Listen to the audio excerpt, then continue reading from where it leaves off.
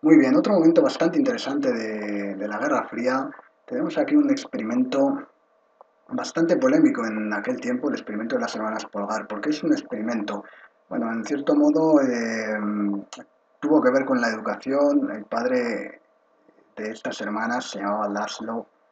eh, pensaba que los genios no nacían, sino que se hacían. ¿De acuerdo? Entonces, él y la mujer, se casó con él, la mujer se llamaba Clara, si no recuerdo mal, se casó con él ya sabiendo que iban, con los hijos que tuvieran, a realizar este experimento. Los hijos o hijas estudiarían en casa eh, y bueno, tratarían de formar mmm, genios, por así decirlo, eh, o sea, gente que, que, desarrollara al máximo sus actitudes.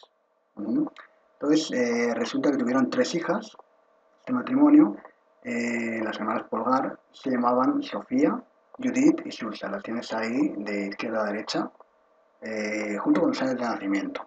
¿Mm? La más, eh, la que nació primero fue Susa, Susan, se llama también, el año 1969, o sea, nació en el mismo año que Viswanathan, que hemos comentado antes. ¿Mm? Y luego estaba Sofía, año 1974, y Judith, que llegó a ser la, la más conocida de las tres, llegaría a estar en la élite mundial del ajedrez, eh, llegaría incluso a ser la única mujer que, derrotó, a, Kasparov en, una partida, en torneo. Nació en el año 1976. Entonces la pregunta es, eh, ¿de qué país eran estas tres hermanas? Opción A, Hungría. Opción B, Polonia. Y opción C, Alemania Oriental. Bueno, las hermanas Polgar nacieron en Hungría.